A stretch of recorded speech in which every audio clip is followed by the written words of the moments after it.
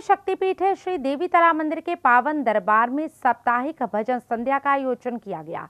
इस भजन संध्या में कृष्णा म्यूजिकल ग्रुप रामा मंडी वालों ने गणेश वंदना के साथ भजन संध्या की शुरुआत की। उन्होंने माता की भेंटों का गुणगान कर उपस्थित भक्तों को झूमने पर विवश किया।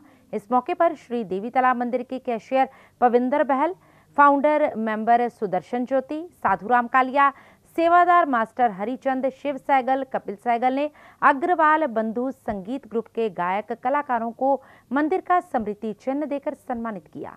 जालंधर से हलचल के लिए कैमरामैन सुदेश भगत के साथ कुश चावला की रिपोर्ट।